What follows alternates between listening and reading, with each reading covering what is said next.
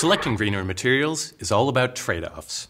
And it's not just environmental impact versus cost. You need to think about the product's whole life cycle. And performance trade-offs can get tricky. Let's say you're choosing between steel and aluminum for a car chassis. Aluminum has about six times the embodied energy per kilo, so it's six times as bad, right? Not necessarily. Aluminum is up to two and a half times stronger per unit mass as steel, so you can make a lighter chassis from it. See, even when you consider all the material that goes into making a car, most of the car's environmental impact comes from the energy used driving it. And that depends on how much weight it's carrying around.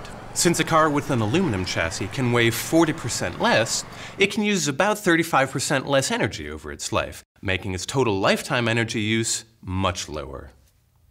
But keep in mind that different materials may need different geometry and manufacturing. For example, aluminum parts in a chassis will have thicker walls and different welds. When you graph materials based on their properties, it's called an Ashby diagram.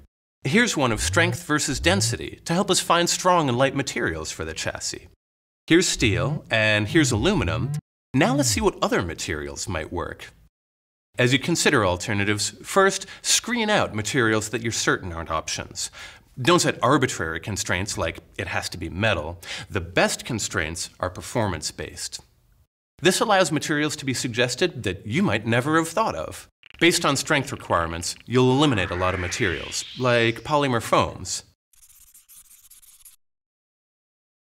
To optimize your choice among the remaining materials, you can plot a guideline based on your objectives, constraints, and geometry. In this example, materials on the line perform equally well, and those above the line perform better. So you can see aluminum, steel, titanium, and carbon fiber could all be good options. As always, you'll need to consider cost. Titanium will be too expensive. Still, prices do change. Carbon fiber is getting cheaper all the time. One day all cars might be made from it. In selecting materials, trade-offs are inevitable.